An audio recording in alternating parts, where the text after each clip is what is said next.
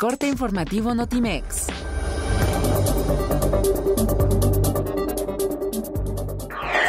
Durante 2016 se extrajeron de los mares mexicanos 1.7 millones de toneladas de alimentos, que equivalen a 23 mil millones de pesos, cifra histórica en el país, destacó el presidente Enrique Peña Nieto, quien aseguró que el desarrollo de México y su proyección hacia el futuro pasa por el impulso de nuestro sector marítimo.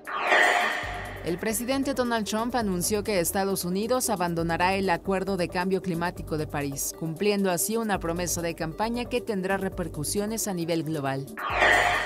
Meteorólogos estadounidenses anticiparon que la temporada de huracanes del Atlántico, Golfo de México y el Caribe será más activa de lo normal, pero aseguraron que los avances en los pronósticos en las últimas décadas nos permite estar mejor preparados.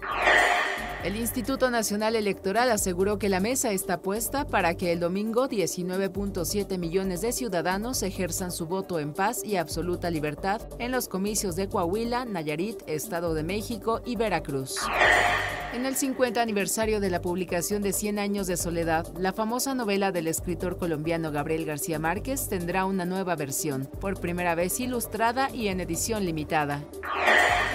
La icónica banda de rock Foo Fighters sorprendió a sus seguidores de todo el mundo al lanzar en plataformas digitales su nuevo sencillo Run, acompañado de su respectivo video.